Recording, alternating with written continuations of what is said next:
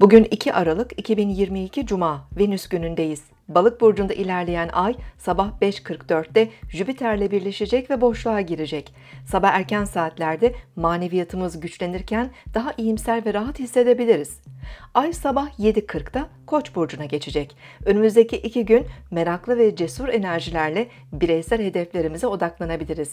Dürtüsel ve düşüncesiz eylemlerin artabileceği sabah ve öğle saatlerinde kaza ve sakarlıklara karşı da temkinli hareket etmeliyiz. Çabuk öfkelenebilir, gereksiz tepkiler gösterebiliriz.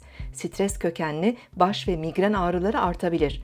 Öğleden sonraki saatlerde enerji ve motivasyonumuz yükseleceğinden iş ve özel yaşamımızda inisiyatif alabilir, girişimlerde bulunabiliriz.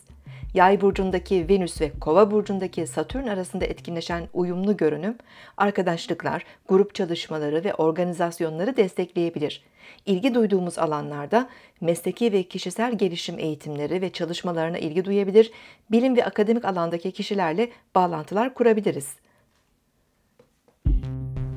Siz de şimdi kanalımıza abone olun, yorumlar bölümüne sorularınızı yazın, sürprizlerimizden haberdar olun.